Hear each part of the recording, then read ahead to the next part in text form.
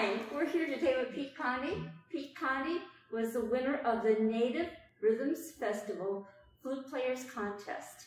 And part of that honor being the winner of the flute contest for 2019 is he gets to play on stage the following year. So although this year is a little different because of COVID, welcome Pete, we're glad you're here. Thank you, Gail. I'm glad to be here.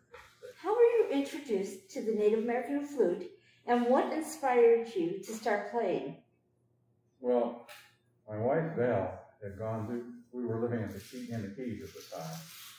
And she had gone to North Carolina to participate in a weekend, or, or actually three days, of sweat lodges.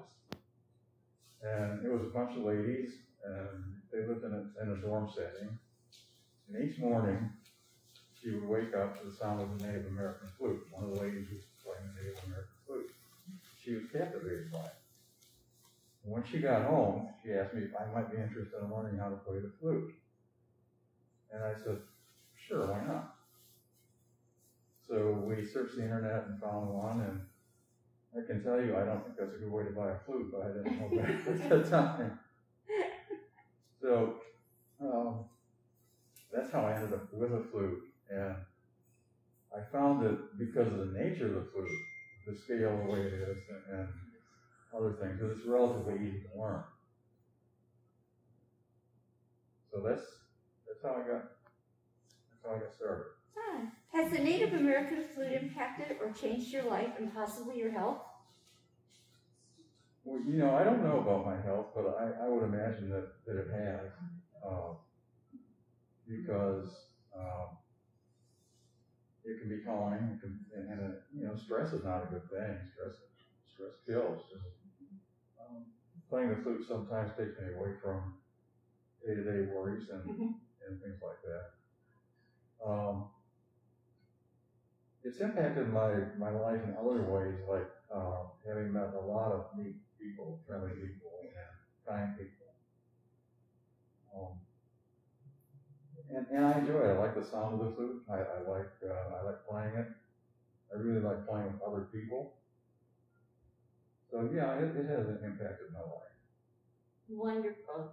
Thank And you you. know, I stepped out of the box a few times too because of it. I uh, the first thing once we moved to Lake County, Mhm. uh, the first thing I did was to find the flute circle, and one of the first things that they started talking about was the uh, the competition at Native Rhythms, and I had no intention of getting involved in any such thing. I was I'm not a competitive person, but I was encouraged to do so, and so the first year I did, and each year thereafter until I won.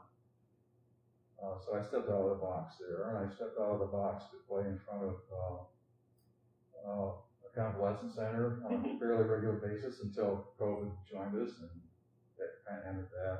Right. Same thing with church. I once in a while would play at church um, in front of people, and until we stopped meeting in the building because of COVID. They still play my music once in a while on, on uh, Zoom, but I'm not not in front of people. Right. Yeah, it's impacted my life.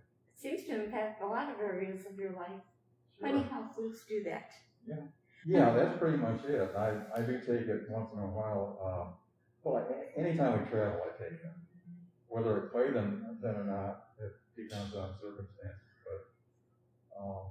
We just took a trip to Wisconsin, and uh, I don't play usually while, while on the road Mhm. uh, because we're in a motel. I don't really want to um, intrude on other people's uh, peace Right. and quiet. So I don't usually play in the motel. Besides, we're, we're busy trying to get packed up to leave for that day. We're resting from the, you know, at the end of the day. Uh, but sometimes when I get where we're going, then, then I might. Wonderful. Who in the Native American flute world do you look up to? There, there are many people whose playing I envy. Uh, oh, I don't, I don't know that, that I actually, you know, I don't know how much I look up to them. I, people who I look up to uh, primarily are people I've met in the flute circle. Um, people that have inspired me. And I, I'm thinking like uh, the, the people who were part of the group when I first joined, and, and one is not with us anymore. That was our leader, Dave. hmm Um, and you know, he was the type that would make you feel like you're you're, you're the best thing in the world. So just come, come along. And, you know, I felt special for a while, and and, and he was always encouraging. Very nice man. Yes, he is. And you know, Kim is such a fantastic player, and, and Deb and Pam. Uh, they all, uh, and, and they all make me feel like I'm, you know, one of them. So Right. I know the feeling. yeah, yeah. So what would you recommend to a person who would like to start out playing Native American flute?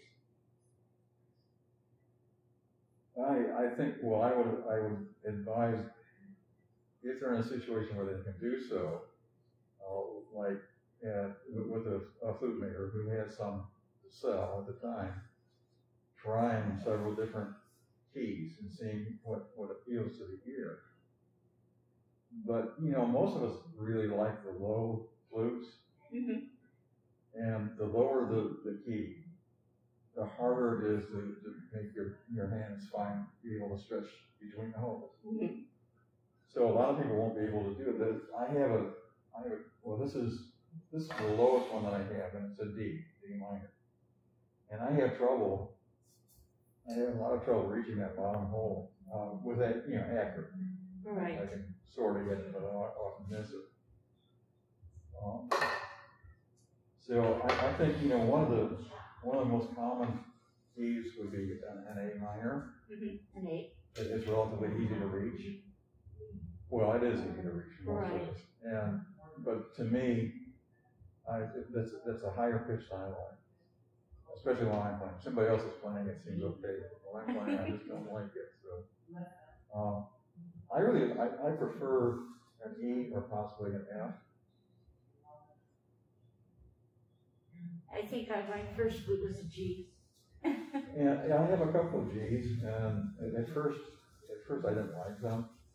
I mean, when I first started playing flute, I was not, I was not impressed by the G. Um, but I have, I have two, and one was made by a friend of mine, so I, I, I really like it. And, uh, another, well, they're both made by friend, by friends. But, uh, one is this one, and this was made by Roy Wood, and so was this one. Um, this one is special to me because it, it was made out of a limb from my camphor tree, camphor tree in my front yard. Oh, wow. So, um, and, and when he sent it to me when he was finished, and when I opened it and played it, I thought, oh, that's really good, a good sound. So I, I've grown to like the G. Yay! Still, still prefer the E to the F. So I've grown like the G. Do you have to be able to read music and know the pentatonic scale to learn how to play the flute? No. Um, I was trained to read, to read music when I was a kid. I played, I, I took piano lessons for a number of years. And I played in the played the cornet in the junior high and high school band. Um, so I was able to, I've kind of forgotten by now, but I was able to. Right. Um, and, and I think I did develop somewhat of a musical sense, like what, what, what kind of sound should come after another and that sort of thing. But um, many people who play the Native American flute have never been able to read music, and and, and mostly if you if you try, uh, mostly Native American music is not presented in that format anyway. It's presented with pictures showing what holes are covered Mhm. for a given note. Um, so no, you don't need to be. In fact, when I first started playing the flute, the only thing I did without any guidance was just kind of experiment, you know, going up and down the scale. And because the notes aren't are not evenly spaced, you get a sound that sounds like a song, and then you learn to experiment a little bit by going, you know, skipping a note and Mhm. um, possibly the worst thing I, that happened to me was finding the need to learn a song because then I got kind of occupied with actually learning a song instead of just playing from the heart. Ah. Mm. Yeah. well, Pete, thank you so much for spending time with us and sharing part of your story. I really appreciate that. Well, it's my pleasure, and, and I hope you enjoy the, the festival, and I know that I will. Yes. And I hope you enjoy it in person next year. Yes, looking forward to that. Yeah. yeah. Thank you, Gail. You're welcome. Thank you.